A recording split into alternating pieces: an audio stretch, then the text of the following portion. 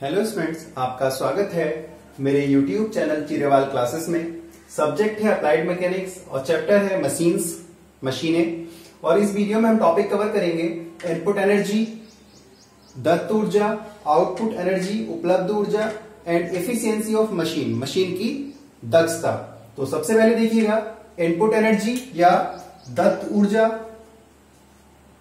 दत्त ऊर्जा। Input energy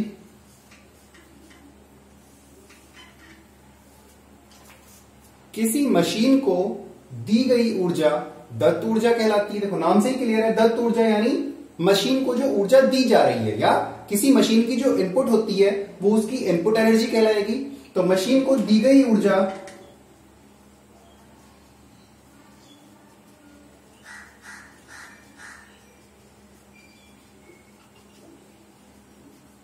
दत्त ऊर्जा।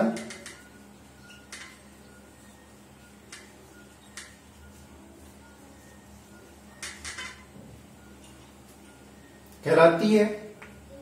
तो यदि मशीन पे जो एफर्ट है पी है, मशीन पर लगाया गया प्रयास पी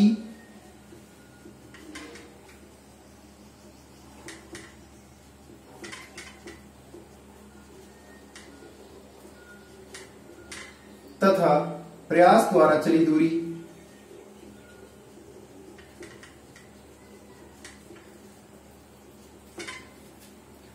बाई है। यदि मान लिया कि मशीन पे जो एफर्ट लगाया जा रहा है, वो तो कैपिटल पी है, और जो एफर्ट पी है एफर्ट पी के द्वारा जो डिस्टेंस चली जा रही है दूर रिमूव कर रहा है, वो बाई है। तो उपलब्ध ऊर्जा सॉरी दत्त ऊर्जा और इनपुट एनर्जी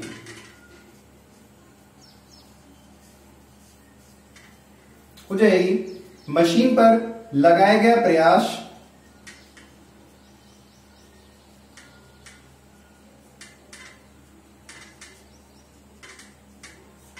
गुणा प्रयास द्वारा।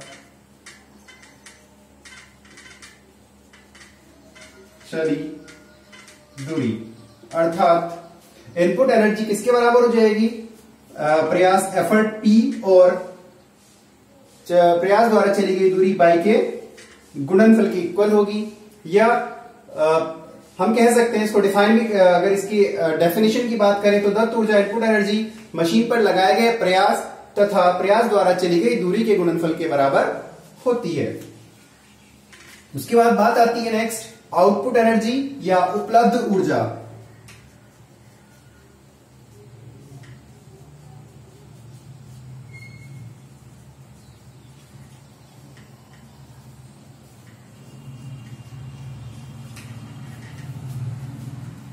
आउटपुट एनर्जी या उपलब्ध ऊर्जा, मशीन द्वारा प्राप्त की गई ऊर्जा, उपलब्ध ऊर्जा या आउटपुट एनर्जी कहलाती यानी जो एनर्जी मशीन से मिली, जो मशीन से हमें काम मिला, वो आउटपुट एनर्जी और जो मशीन को हमने काम दिया, वो इनपुट एनर्जी। क्लियर?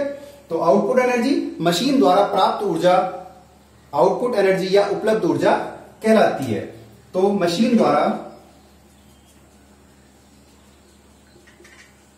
प्राप्त ऊर्जा, उपलब्ध ऊर्जा या आउटपुट एनर्जी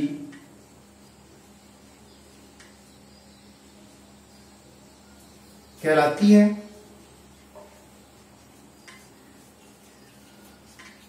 यदि मशीन पर लगाया गया भार W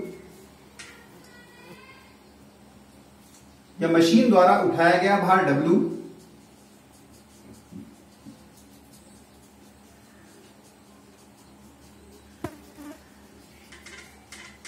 कैपिटल W तथा भार द्वारा चली गई दूरी,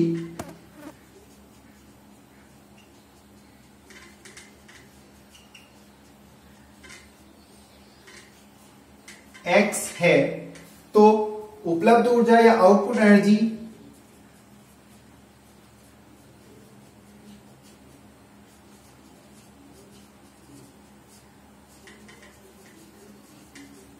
बराबर हो जाएगा। मशीन द्वारा उठाया गया भार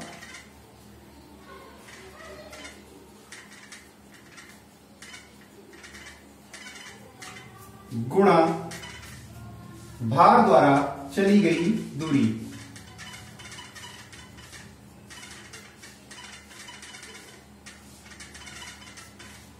मशीन द्वारा उठाया गया भार तथा मशीन द्वारा चली गई दूरी के गुणनफल को उपलब्ध ऊर्जा या आउटपुट एनर्जी कहते हैं। तो मशीन द्वारा उठाया गया भार कितना है? कैपिटल डब्ल्यू और चली गई दूरी एक्स तो ये हो जाएगी आउटपुट एनर्जी, ये हो गई इनपुट एनर्जी। क्लियर मशीन को मशीन को जो ऊर्जा दी गई इनपुट एनर्जी और मशीन से जो ऊर्जा मिली वो आउटपुट एनर्जी। तो मशीन को दी गई ऊर्जा, मशीन पे हम एफर्ट लगाते हैं और एफर्ट हमारा बाई डिस्टेंस मूव करता है तो मशीन को दी गई ऊर्जा इनपुट एनर्जी। मल्टीप्लाई गुणनफल हो जाएगा पी और बाई का एफर्ट और एफर्ट द्वारा चली गई दूरी का सिमिलर जो आउटपुट एनर्जी होगी आउटपुट एनर्जी जिधर बोझ को हम उठा रहे हैं, बोझ की तरफ़ मिल रही है तो उठाया गया बोझ डब्ल्यू है और बोझ द्वारा चली गई दूरी अगर एक्स है तो आउटपुट एनर्जी हो जाएगी मशीन द्वारा उठाए गए बोझ या भार और भार द्वारा चली गई दूरी के गुणनफल के बराबर तो आउटपुट एनर्जी हो जाएगी डब्ल्यू इंटू एक्स बात आती है एफिशिएंसी ऑफ़ मशीन की मशीन की दक्षता की देखिएगा।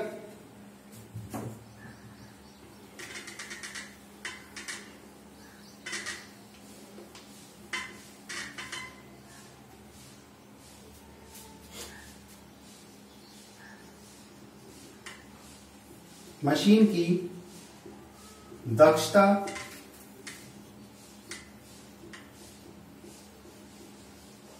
efficiency of machine.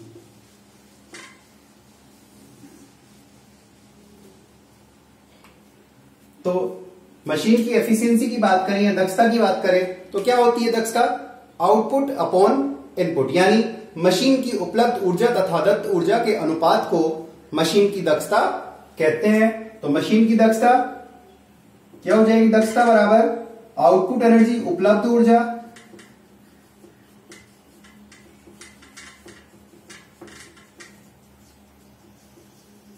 तथा इनपुट एनर्जी का अनुपात, दत्त ऊर्जा का अनुपात।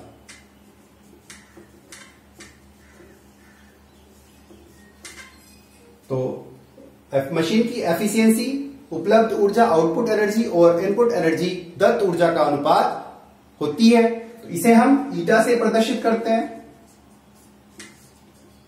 इसे ईटा से प्रदर्शित करते हैं। और जो एफिशिएंसी होती है, दक्षता को हम प्रतिशत में ज्ञात करते हैं या प्रतिशत में प्रदर्शित किया जाता है या प्रतिशत में ज्ञात किया जाता है। दक्षता को प्रतिशत में ज्ञात किया जाता है। तो देखिएगा पहले तो ईटा, दक्षता, उपलब्ध ऊर्जा output energy upon input energy तो आउटपुट एनर्जी अभी हमने बात की output energy W into X के बराबर होती है और input energy P into Y के बराबर होती है। और प्रतिशत में बात करें तो इंटू हंड्रेड प्रतिशत। एफिशिएंसी लेकिन अगर इसको हम थोड़ा सा इंप्रूव करें तो देखिएगा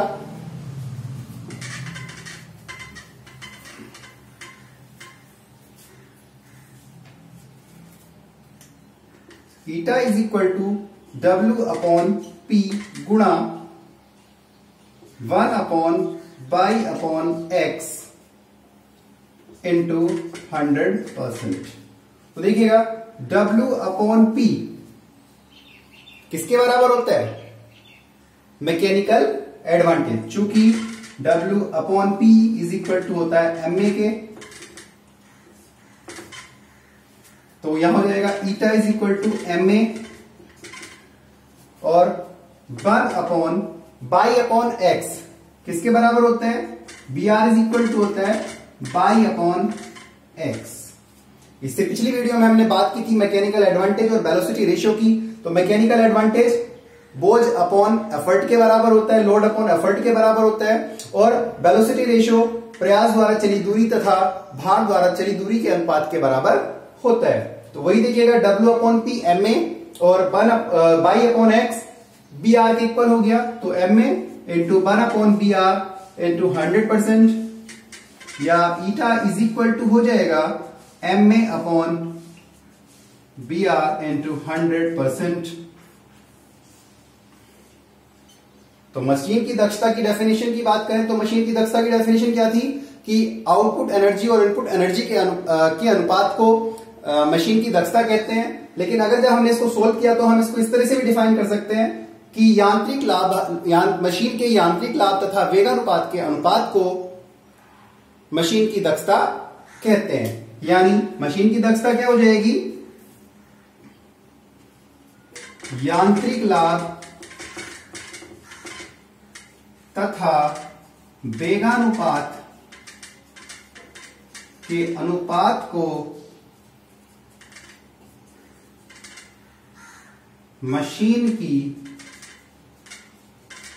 दक्षता कहते हैं।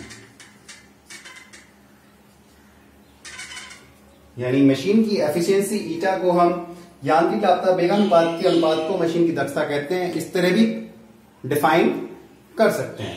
ओके तो इस वीडियो में हमने टॉपिक कवर किए इनपुट एनर्जी दत्त ऊर्जा आउटपुट एनर्जी, उपलब्ध ऊर्जा, दत्त ऊर्जा मशीन को दी गई ऊर्जा, आउटपुट एनर्जी, उपलब्ध ऊर्जा मशीन द्वारा ली गई ऊर्जा और एफिशिएंसी ऑफ़ मशीन मशीन की दक्षता। मशीन की दक्षता, output energy upon input energy का जो रेशियो होगा, वो हमारा मशीन की दक्षता कहलाता है। Okay thank you